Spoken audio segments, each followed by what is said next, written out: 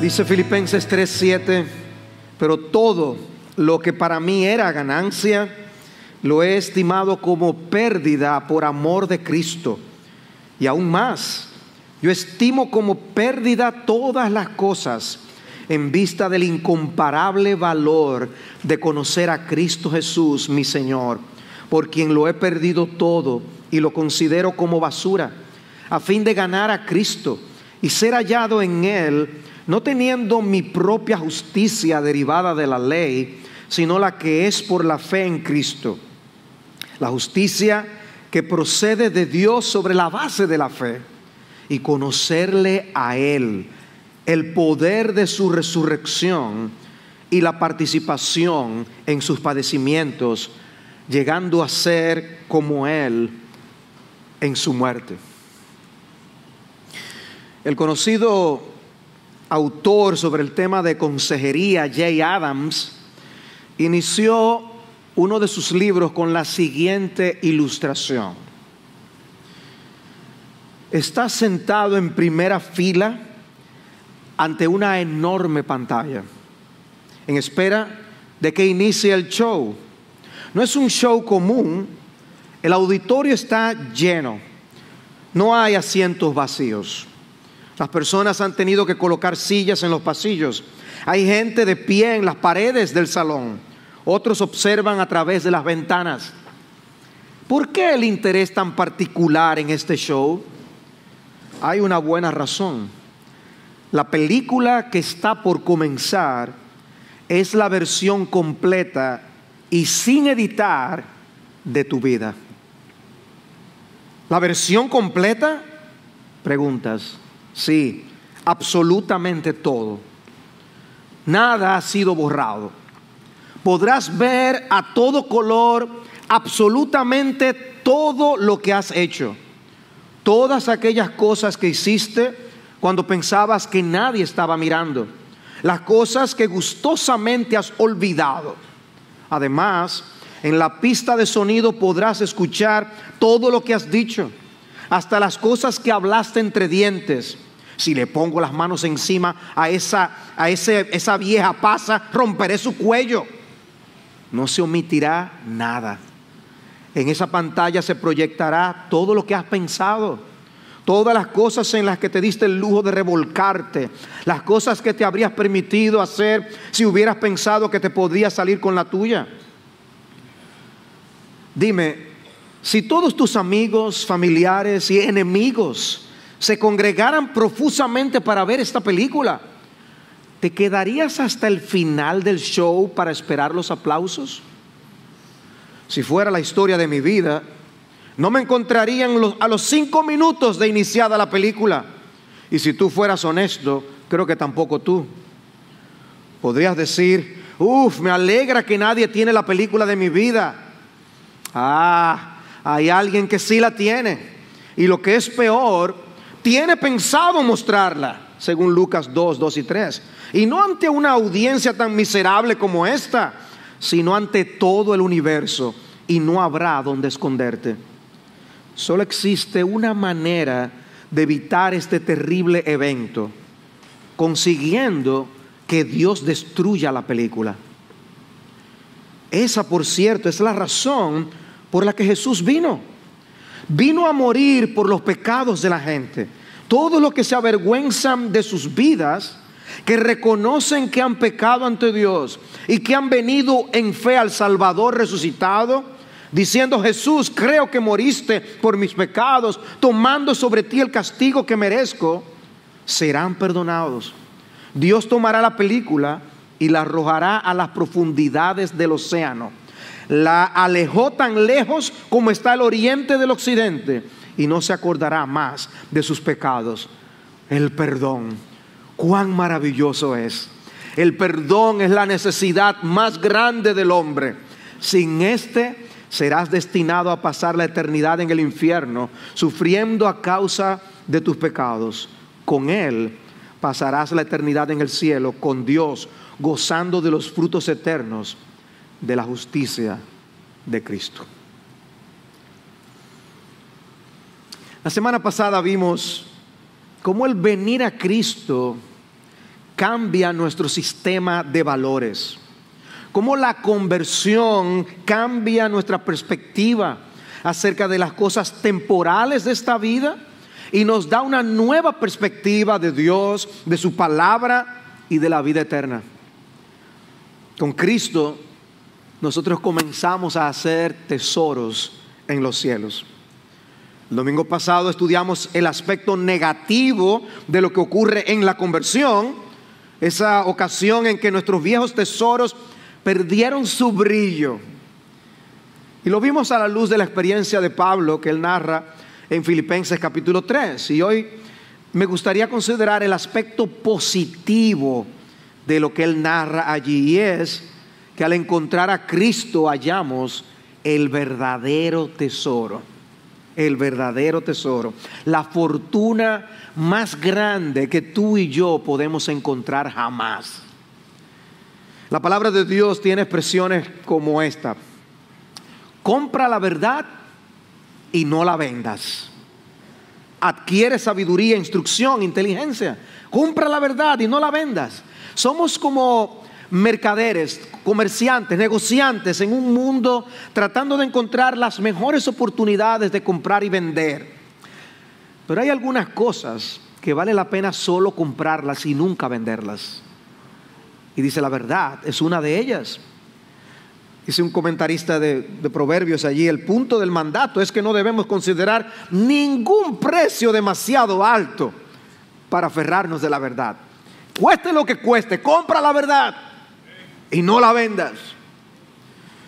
Dice el Salmo 119, 72, mejor es para mí, y he pedido que pongan los versículos, voy, voy a citar muchos versículos, porque quiero que veamos lo que está en la palabra. Mejor es para mí la ley de tu boca que millares de piezas de oro y de plata. O en el versículo 127, por tanto, amo tus mandamientos más que el oro, más que el oro fino. Y esos versículos hablan de un nuevo aprecio por la palabra de Dios, porque es el sostén de nuestras almas. Y en ese sentido, encontrar a Cristo es comparado a encontrar un gran tesoro o una perla de gran precio. Yo les leía la semana pasada en Mateo 13, el versículo 44, el reino de los cielos es semejante a un tesoro escondido en el campo, que al encontrarlo un hombre lo vuelve a esconder y de alegría por ello va a vender todo lo que tiene y compra aquel campo. El reino de los cielos también es semejante a un mercader que busca perlas finas y al encontrar una perla de gran valor, fue y vendió todo lo que tenía y la compró. Una vez encontramos el verdadero tesoro, se supone que debemos atesorarlo. Debemos atesorar el tesoro. Nunca dejarlo ir. Y encontrar a Cristo es el mejor negocio del mundo como menospreciar a Cristo es el peor negocio también. Hemos considerado entonces en Filipenses 3 cómo Pablo comparte su testimonio personal, la transformación interna que él experimentó cuando Jesús lo salvó y por qué él ahora estaba dispuesto a renunciar a todo aquello de lo que él antes estaba tan orgulloso. Él encontró un nuevo tesoro, el verdadero tesoro, y no estaba dispuesto a dejarlo, eh, a dejarlo ir. ¿Y cómo él lo explica? Bueno, él lo explica, y serán mis encabezados en este mensaje, lo explica a la luz de una nueva relación con Cristo, un nuevo estatus en Cristo y un nuevo poder por medio de Cristo. Expliquemos cada uno de estos a la vez. En primer lugar, Pablo expresa aquí una nueva relación con Cristo, o lo que en doctrina se conoce como la unión del creyente con Cristo.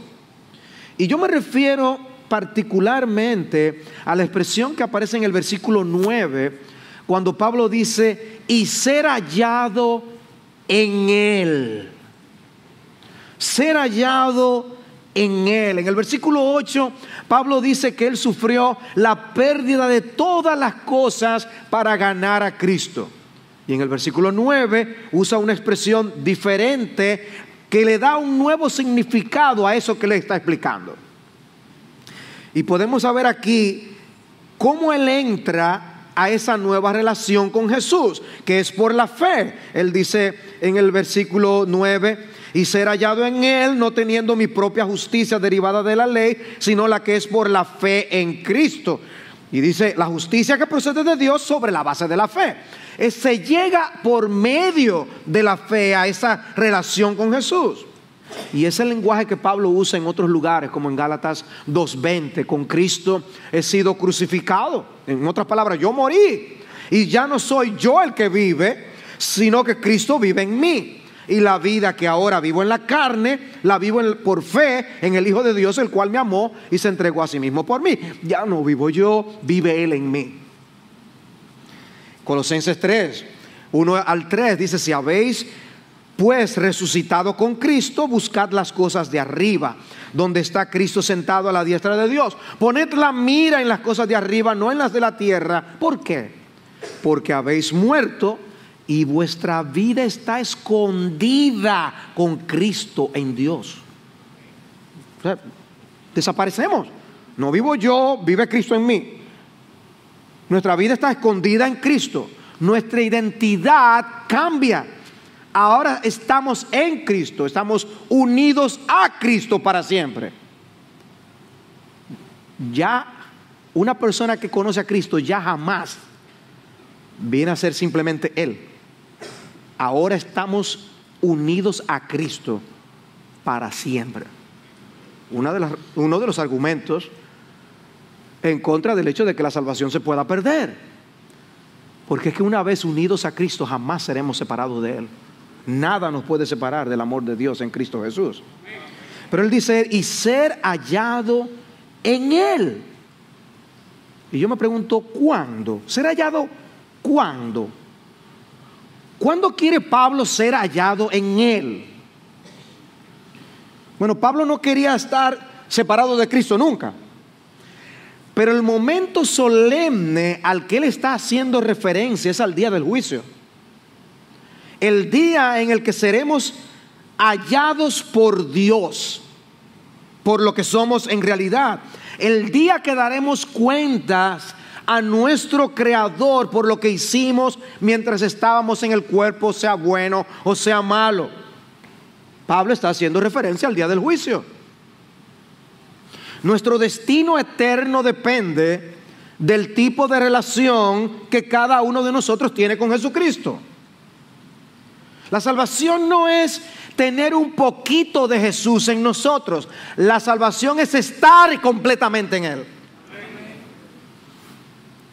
Muchos hoy están predicando a Cristo supuestamente, pero realmente lo que están haciendo es diciendo cómo obtener beneficios de Cristo. Ven a Cristo y Él te bendecirá con toda riqueza material. Cuando Pablo habla de pérdida y ganancia, aquí Pablo no está enseñando el Evangelio de la prosperidad. Él está enseñando claramente que Jesús mismo es nuestra ganancia. No amamos las cosas de Cristo, lo amamos a Él. Dice primera de Pedro 1.8, a quien sin haberle visto, le amáis. Como una realidad. Pedro no está eh, mandando aquí a los creyentes, él está hablando de la realidad de que ellos aman a Cristo.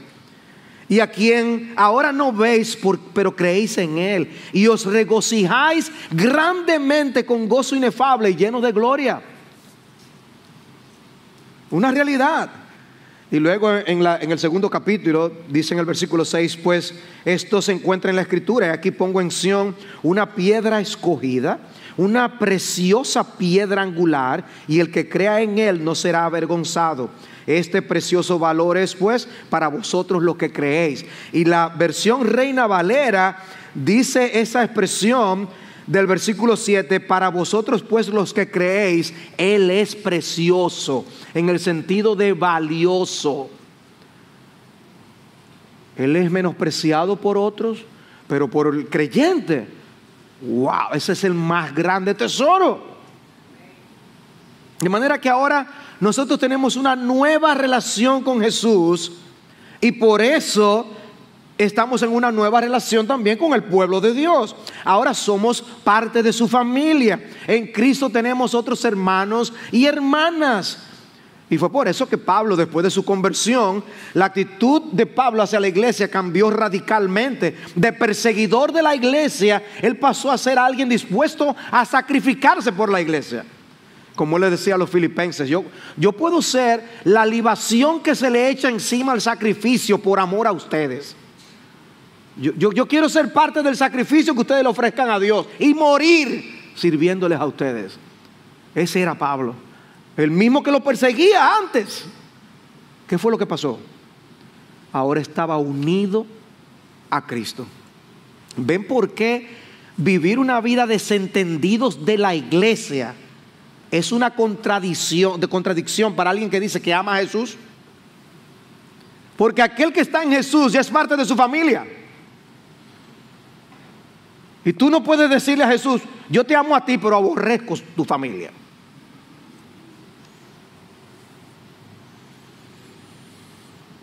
O sea que Pablo no podía explicar su salvación en términos de logros que él hubiera alcanzado, como vimos la semana pasada, sino en términos de lo que Jesús hizo. Y por eso él quería ser hallado en él en Él y solo en Él, que es la manera en que tú y yo también debemos ser hallados en el día del juicio si queremos que nos vaya bien. Esa expresión ser hallados en Cristo significa que cuando la muerte nos sorprenda estaremos bien con Dios, sin cuentas pendientes con Dios. Pero primero tenemos que estar unidos a Cristo. Para ser hallados en Cristo en el día del juicio, primero debemos venir a pertenecer a Cristo aquí en la tierra. Por eso el libro de Efesios comienza diciendo, bendito sea el Dios y Padre de nuestro Señor Jesucristo, que nos ha bendecido con toda bendición espiritual en los lugares celestiales en Cristo. En Cristo.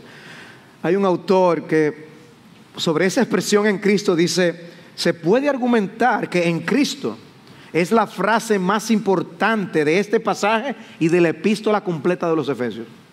O sea, esa expresión, en Cristo. Si tú quieres entender la epístola a los Efesios, no puedes dejar de ver esa expresión, en Cristo. Por eso Pablo comienza ahí mismo, inicia la epístola y él inmediatamente dice a los efesios que ellos están en Cristo. En la Reina Valera, el versículo 1 de Efesios, del capítulo 1, dice Pablo, apóstol de Jesucristo por la voluntad de Dios, a los santos y fieles en Cristo Jesús que están en Éfeso. ¿Dónde estaban ellos? ¿En Éfeso o en Cristo Jesús? En los dos sitios. Ahora él pone primero en Cristo Jesús. Como si la realidad espiritual de estar unidos a Cristo era muchísimo más importante que su localidad. Todas nuestras bendiciones provienen de nuestra unión a Cristo. Por eso Cristo mismo decía que separados de Él, nada podemos hacer. Es precisamente esa identidad de estar unidos a Cristo lo que nos, se constituye en nuestra propia bendición. Ven ustedes ahora por qué Pablo está dispuesto a decir, yo considero todo lo que yo había alcanzado como basura con tal de ganar a Cristo. Porque Cristo es nuestro todo. Cristo es nuestro todo. Por eso se puede explicar de esa forma. Entonces vemos entonces que tenemos una nueva relación con Cristo. En segundo lugar, Pablo dice que tenemos un nuevo estatus en Cristo. Si esa nueva, esa nueva relación que nosotros teníamos es la unión con Cristo, este nuevo estatus es la doctrina de la justificación por la fe. Dice, no teniendo mi propia justicia derivada de la ley, sino la que es por la fe en Cristo, la justicia que procede de Dios sobre la base de la fe. Hay dos tipos de justicia que Pablo está mencionando aquí en este pasaje. Pablo menciona mi propia justicia y la justicia que es de Dios por la fe. Dos, dos justicias. Su argumento es el siguiente. Si llegamos al día del juicio manteniéndonos aferrados a nuestra propia justicia, perderemos. Seremos condenados para siempre. Porque no hay manera de que ningún hombre aparte de Cristo alcance el grado de justicia que el cielo requiere. Pero si llegas a ese día habiéndote vestido de la justicia de Jesucristo, entonces serás salvos. Será la única justicia que será tomada en cuenta en aquel día del juicio. Ni siquiera se trata de tener la justicia de Jesús más el poquito de la tuya. No, ni siquiera de eso. Es por la fe de Cristo. ¿Por qué? Porque se trata de que ya tú no crees en ti mismo. No confías en ti mismo, confías en Él y en lo que Él hizo. Por eso la Biblia anuncia con gran claridad, cree en el Señor Jesucristo y serás salvo. Es un asunto de fe. Tienes que confiar en el método de Dios y abandonar toda asunción de que tú puedes lograrlo, que es lo, a lo que nos estamos acostumbrados a que nos llaman continuamente, cree en ti mismo, tú puedes. No, no, la salvación es del Señor. Y en términos humanos, la justicia de Pablo era superior a la de los demás. Recuerden como él había dicho en cuanto a la justicia de la ley, irreprensible, como dice el versículo 6. Irreprensible. El problemita es que en el día del juicio no es el estándar de los fariseos el que será tomado en cuenta, es el estándar de Dios. Cristo dijo en Mateo 5:20, os digo que si vuestra justicia no supera la de los escribas y fariseos, no entraréis en el reino de los cielos. Esa justicia de los fariseos no era suficiente. Podía ser el fariseo más celoso y no llegas como quieras, te quedas corto. Por eso el lenguaje tan fuerte de Pablo, porque su punto es precisamente que esas cosas en las que él confiaba y que los falsos maestros estaban promoviendo eran equivalentes a estiércol en lo que la relación con Dios se trata. Así de fuerte lo dice Pablo. Y algunos creen que el versículo que Pablo tenía en mente cuando dice esto era Efesios 64, 6, cuando habla de que nuestras obras de justicia son como trapos de inmundicia. Dice, lo mejor que tú puedes hacer es como un paño menstruoso. Eso es lo que está diciendo el apóstol Pablo. Para ganar a Cristo se necesita que perdamos nuestra confianza en nosotros mismos y en cualquier cosa que tú y yo podamos alcanzar y confiar solamente en Jesús. Su propia justicia, la de Pablo, era completamente incapaz de contribuir en nada para su salvación. Miren cómo lo describe él en Romanos capítulo 3, versículo 19. Ahora bien, sabemos que cuanto dice la ley, lo dice a los que están bajo la ley, para que toda boca se calle y todo el mundo se ha hecho responsable ante Dios. Yo cuando leo ese versículo, yo no puedo evitar imaginarme a alguien. No, no, pero resulta que te calles. No, pero es que yo, que te calles. Dice que aquí para que toda boca se calle. Deja de defenderte tanto. Deja de argumentar tanto. Oye, ¿cuál es el método de Dios? No es el tuyo.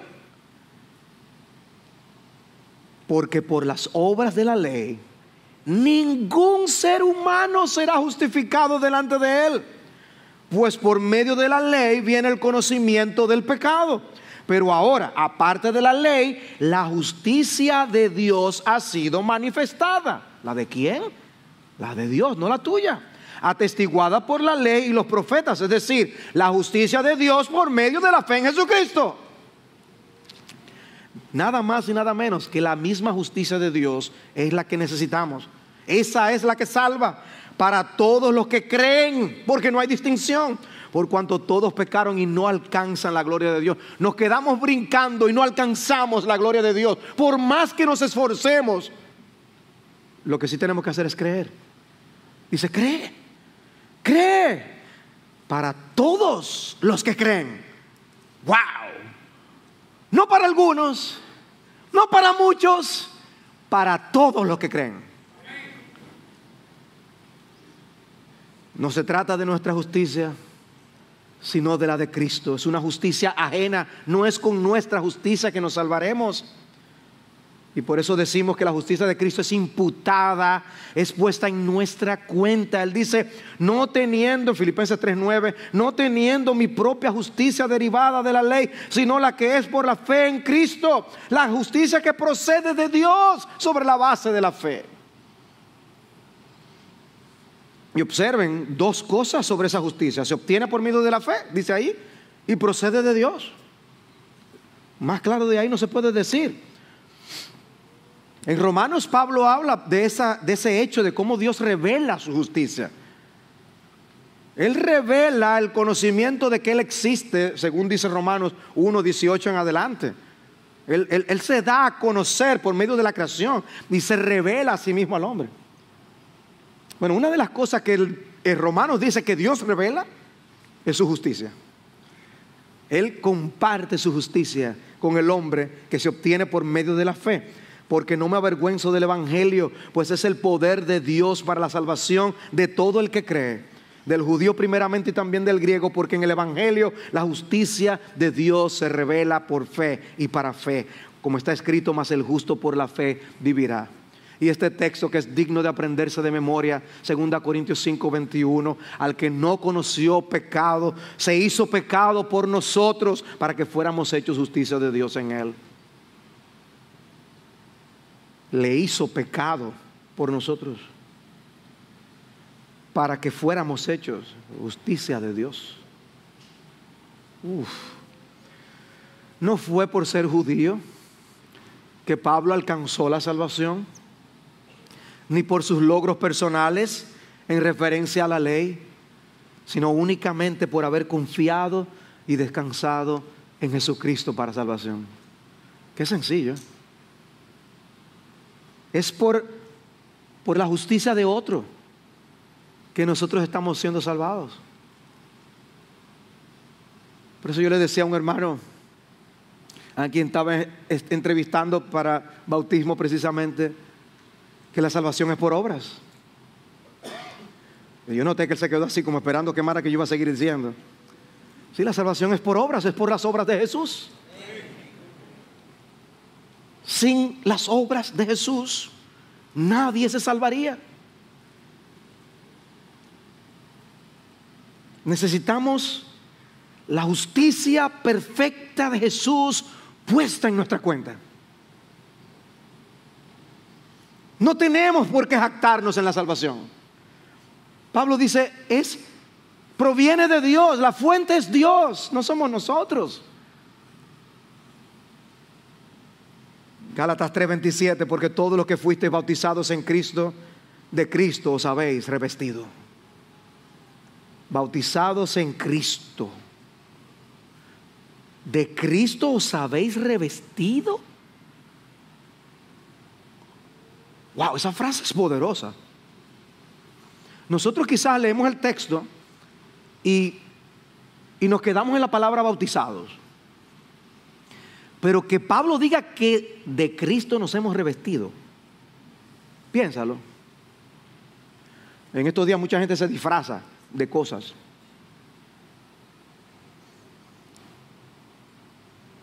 Es como si los cristianos fueran vistos desde el cielo como si fuéramos Cristo. Y lo que la gente debería reconocer y ver es, es, es Cristo, Cristo, otro Cristo, otro Cristo, Cristo, muchos Cristos. Así es que Dios nos ve. ¡Wow! Revestidos de Cristo. Necesitamos la destrucción de la película de nuestras vidas.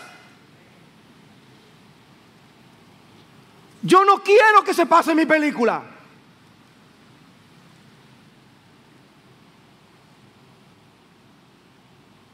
Cuando yo le leí al principio, dice, yo no, yo no estaré ahí ni en cinco minutos viendo esa película. Yo no estaría ni un minuto viendo mi película. Necesitamos la destrucción de nuestras películas. Y lo que Pablo está diciendo es que cuando nosotros venimos a Jesús para la salvación de nuestras almas, nos está diciendo, ¿sabes cuál es la película que se va a pasar en aquel día? La de Jesús. Cuando digan tu nombre, ok, ahora vamos a ver la película de fulano de tal. Y ahí vas tú, ah, la película, pero, pero esa, esa, no es mi vida. No, no, esa, esa es la de Jesús. ¡Oh, qué alivio! No es la mía, es la de Jesús.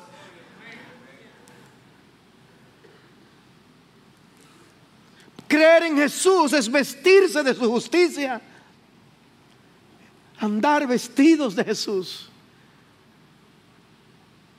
Dios no lo dice para que nos sintamos bien simplemente. Dios lo dice para que estemos plenamente convencidos de que ahora cuando Él nos ve en Cristo, Él está viendo a su Hijo y la justicia de su Hijo.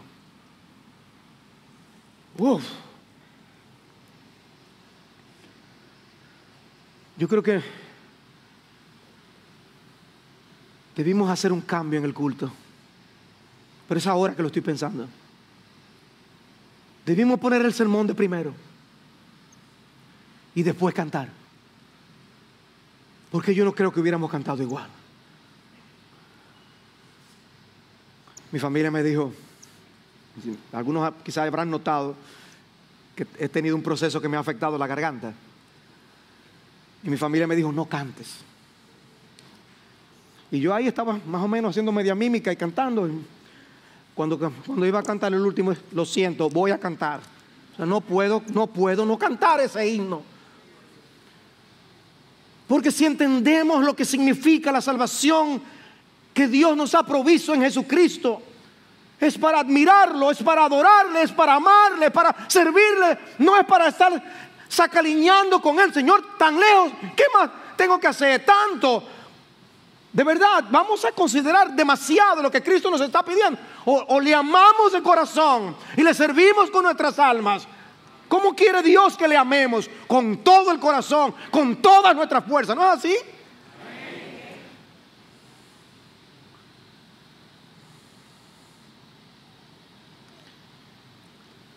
La vida de Jesús es la única que puede ser mostrada ante todo el mundo sin nosotros ser, sentirnos avergonzados. Pablo no se podía salvar a sí mismo, nosotros no nos podemos salvar a nosotros mismos, necesitamos a Jesús y su justicia. Este hermoso texto de Isaías 45, yo quisiera leer más de ese capítulo, pero este breve pasaje dice en el versículo 22, volveos a mí, sed salvos, todos los términos de la tierra, porque yo soy Dios y no hay ningún otro. Por mí mismo he jurado, ha salido de mi boca en justicia una palabra que no será revocada, que ante mí se doblará toda rodilla y toda lengua jurará lealtad. De mí dirán, solo en el Señor hay justicia y fuerza. Solo en el Señor hay justicia. A Él vendrán y serán avergonzados todos los que contra Él se enojaron. En el Señor será justificada y se gloriará toda la descendencia de Israel. El texto no solo dice, en el Señor será justificada toda la descendencia de Israel, sino que dice, será justificada y se gloriará toda la descendencia de Israel. Si tú fuiste justificado por medio de la fe, gloríate en Jesús. No hay otra conclusión. Esa es la reacción correcta. Gloriarte en el Señor de la película.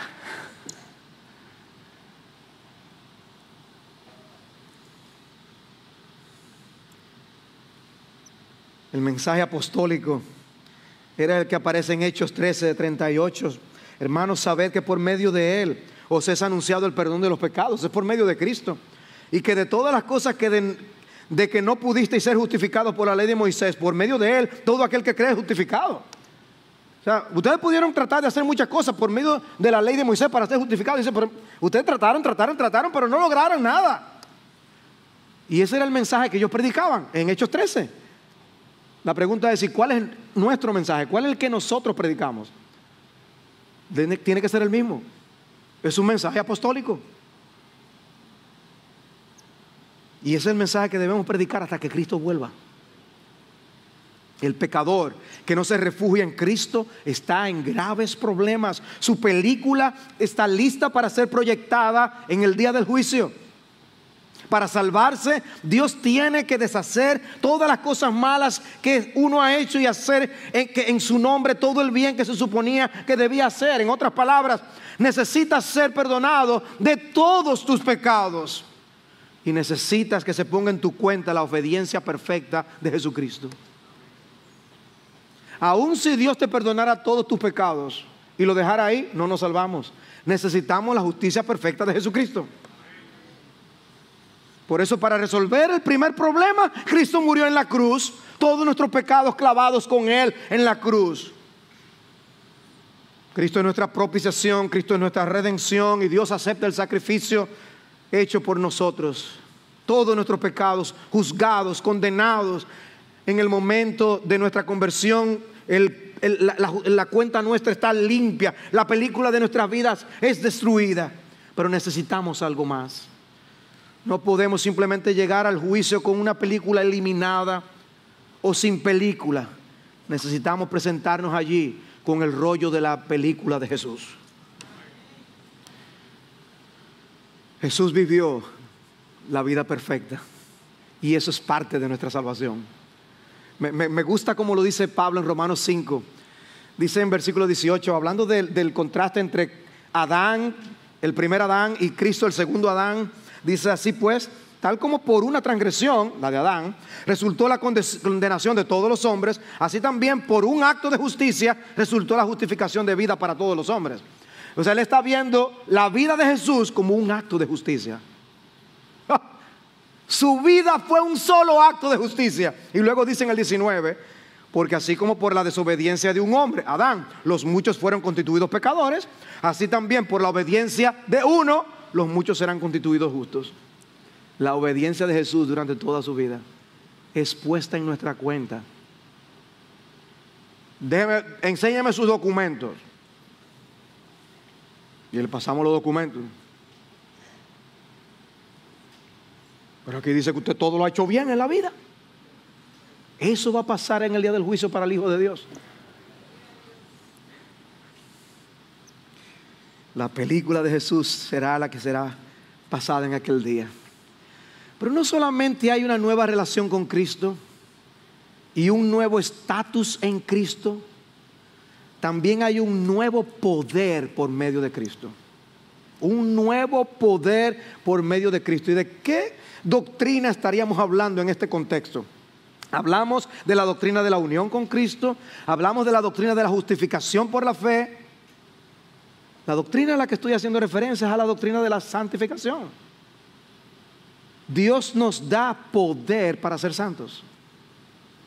Dice él en el versículo 10, y conocerle a él el poder de su resurrección y la participación en sus padecimientos, llegando a ser como él en su muerte. Pablo había entrado a una nueva relación con Jesús. O sea que podía decir, él podía decir que él conocía a Jesús. Sin embargo, el conocimiento de Jesús que él adquirió cuando se convirtió, ese conocimiento salvífico, no era todo el conocimiento que Pablo quería. Pablo quería más.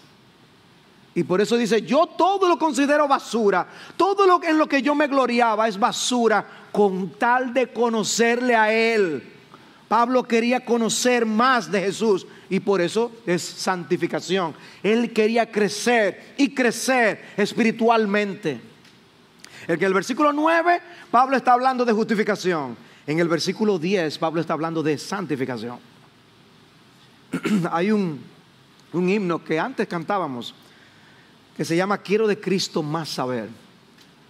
Ese himno decía, o dice, quiero de Cristo más saber. Yo quiero, yo quiero saber más de Jesús, más de su dulce amor tener, más de su gracia demostrar, más de su salvación gozar. Yo quiero gozar más la salvación. Hermanos, no es simplemente estar salvos, sino gozar la salvación.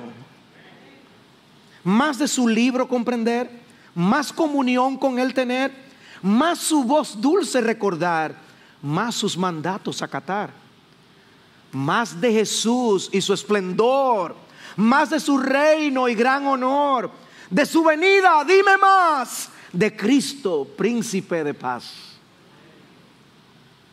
Crecimiento en la santificación. Y luego el coro dice, más dime de Cristo, más de Él necesito, más de su amor con que me amó, más de Él que a mi alma rescató.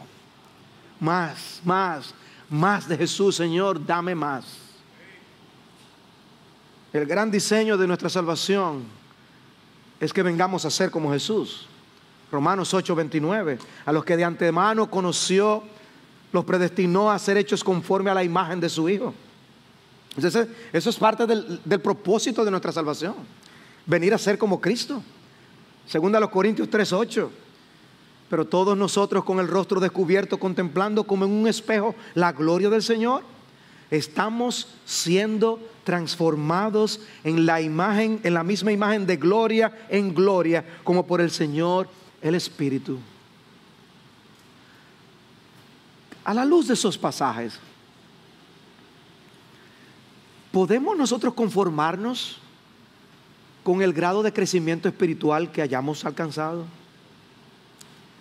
¿O no deberíamos decir con el himno, como el himno, más, más, más, conocerle más, crecer más, ser más semejante a Él? Lo que Jesús es para nosotros, el tesoro más grande del universo, debe ser un impulso para que nos conformemos más y más a la imagen de Jesucristo para morir al pecado, a las ofertas del mundo y apreciar a nuestro Salvador. Admirarle por lo que Él es, por lo que Él ha hecho.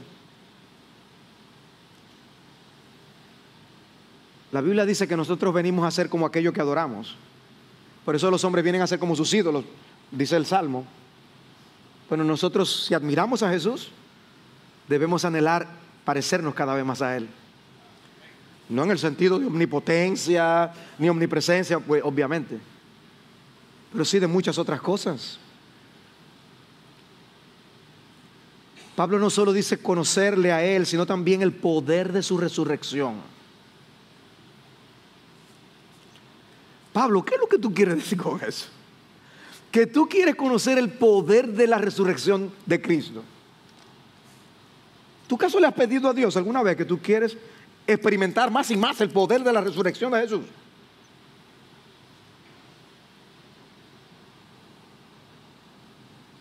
Yo creo que nosotros nos conformamos con poca cosa. Yo creo que tú y yo, si nos preguntaran, dime, descríbeme uno de los mejores días espirituales que tú has tenido. Eh, bueno, quizás el día que, que yo mejor traté a mi esposa, eh, un día que yo le prediqué el Evangelio a una persona. Eh,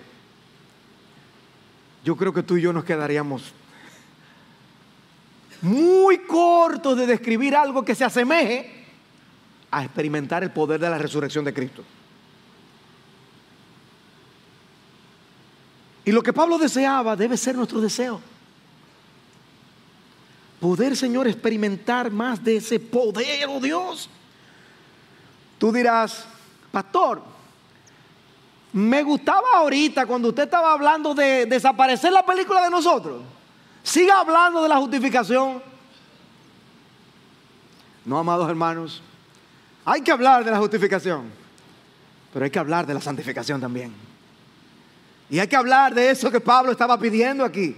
Yo quiero conocer ese poder en mi vida para matar el pecado, dar muerte al pecado y cultivar las virtudes que adornan a mi bendito Salvador.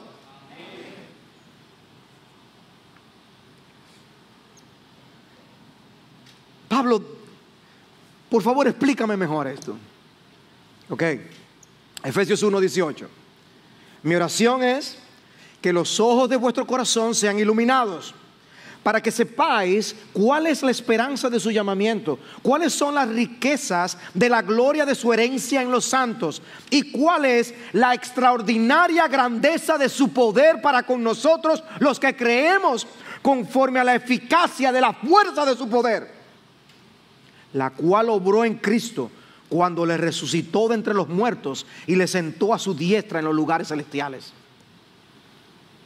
Eso es lo que yo quiero que ustedes experimenten. Yo no quiero que experimentemos menos de ahí.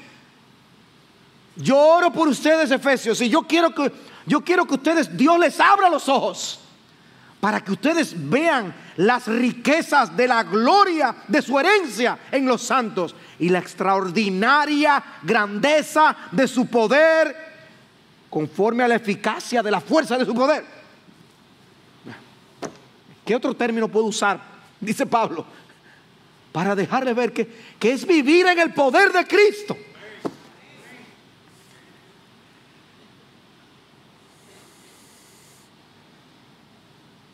Colosenses 3 es uno de los grandes capítulos de la santificación. Yo les leí la primera parte hace un rato, pero a partir del versículo 5, Pablo les dice, considerad los miembros de vuestro cuerpo terrenal como muertos a la fornicación, la impureza, las pasiones, los malos deseos y la avaricia que es idolatría. En otras palabras, el poder de Cristo, el estar escondidos en Cristo, nos ayuda a dar muerte a todos esos pecados. No es nuestra fuerza. Por eso es que Pablo oraba. Hermanos, la importancia de la oración. Pablo amaba a los efesios y decía, Señor, yo quiero que tú les permitas experimentar lo que es el poder de la resurrección de Cristo. Es lo mismo que Pablo buscaba para sí, Filipenses 3.9, 3.10, y es lo que él quisiera que todos los santos de toda la historia experimenten también. Para tener victoria necesitamos el poder de la resurrección de Cristo para ser santos. No es en nuestra fuerza, sea que, ¿cuántas veces ahí vamos nosotros con el pechito en grande, tratando de en nuestra propia fuerza eh, ser santo y ser lo que nosotros tenemos que hacer? Mano, ni tú ni yo podemos. Si Pablo está hablando del nivel de la, de la fuerza de la resurrección de Cristo, ¿tú crees que con tu pitolita tú vas a poder vencer pecado? Necesitamos el armamento nuclear de Dios, del Espíritu Santo. No es en nuestras fuerzas.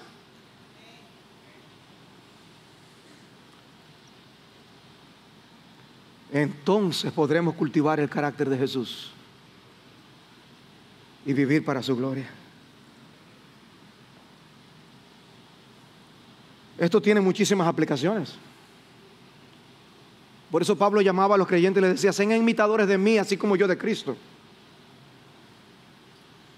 Y nosotros encontramos muchos llamados a imitar a Cristo.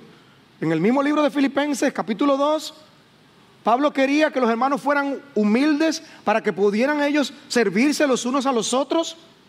Le dice, imiten a Cristo. Miren el ejemplo de lo que él hizo. Él se humilló al nivel que se humilló y nosotros tenemos que tener el mismo tipo de pensamiento y la misma actitud que Él. Es una aplicación muy poderosa. Se aplica también a lo que pasa en nuestros hogares. Si nosotros en verdad ponemos a los otros primero que nosotros mismos. Se aplica a la iglesia.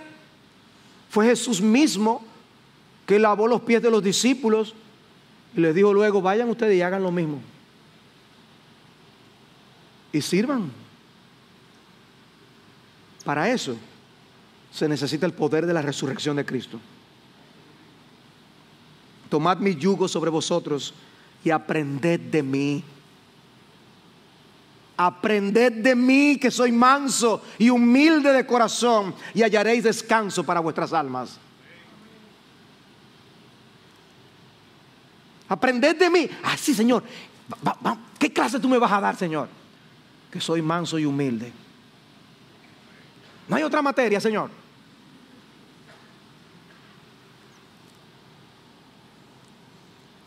Dice Primera de Pedro que Él también nos dejó ejemplo para que aprendiéramos a cómo sufrir para su gloria. Que Cristo nos dejó ejemplo de cómo sufrir para su gloria. Ah, pero hay que sufrir. Sí, hay que sufrir. Es parte del proceso. Por eso Pablo dice en el versículo 10, y la participación en sus padecimientos, llegando a ser como Él en su muerte. Eso es parte del proceso. Parte de la obra que Dios hace en nuestras vidas, la hace cuando estamos precisamente con el viento en contra. Cuando las cosas se ponen difíciles, Dios nos enseña muchas cosas. Y son momentos de crecimiento espiritual, como en otras ocasiones no alcanzamos. Pero ¿qué aprendió Pablo? Bueno, Pablo aprendió a amar a Cristo de tal manera que él estaba dispuesto a perderlo todo con el fin de participar de los sufrimientos de Cristo. ¡Wow! Si nuestro rey estuvo dispuesto a llevar una corona de espinas en nuestro nombre, ¿no estaremos nosotros dispuestos, sus seguidores, a sufrir por su causa? llegando a ser como Él en su muerte. Pablo se identificó tanto con Cristo que quiso ser obediente hasta la muerte por Él. Hay un himno en inglés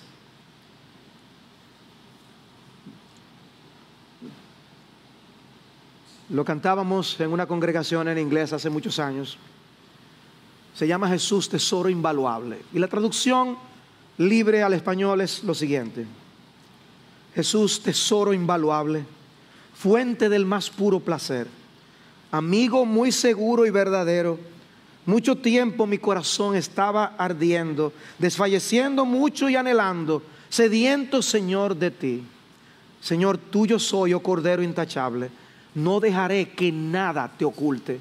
Oigan eso, no dejaré que nada te oculte, ni buscaré gozo alguno fuera de ti. Afuera todo tesoro mundano, Jesús es mi placer, Jesús es mi elección. Fuera toda gloria vacía. Para mí no es nada la historia que expresas con voz tentadora al mundo diciéndole, ni dolor, ni pérdida, ni vergüenza, ni cruz me moverán de mi Salvador desde que Él eligió amarme. Destierra todo pensamiento de tristeza para que el Señor, para que el Señor de la alegría, Jesús, pueda entrar. O sea, no vivas en un, sumido en tu tristeza y en tu dolor, de tal manera que Jesús se quede afuera en tu vida. No, no, no. Dice, no permitas que eso ocurra para que Jesús pueda entrar. Aunque las nubes se aglutinen, los que aman al Salvador todavía tienen paz interior aunque tenga que experimentar muchos dolores aquí, aún en ti reside mi más puro placer, Jesús, tesoro invaluable. Jesús, tesoro invaluable. Hay algo más valioso que Jesús.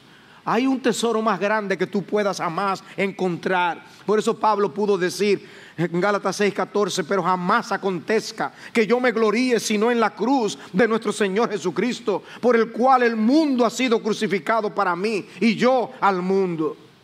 Fue por eso que Saqueo estuvo dispuesto a dejar sus riquezas con el fin de ganar a Cristo. Era un hombre muy rico, se había hecho rico cobrando impuestos para los romanos.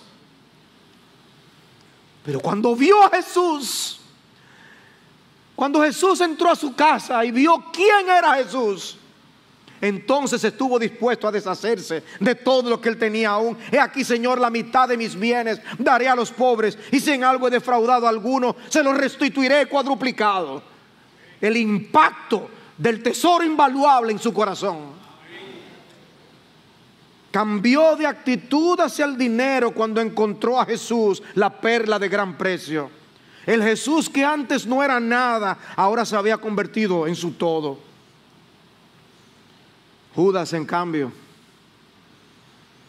por su amor al dinero, estuvo dispuesto a vender a Jesús por 30 piezas de plata. ¿Y tú qué harás con Jesús hoy? ¿Qué tú harás con Jesús hoy? ¿Dejarás pasar la oferta creyendo que encontrarás alguna mejor algún día? ¿Arriesgarás el estado eterno de tu alma?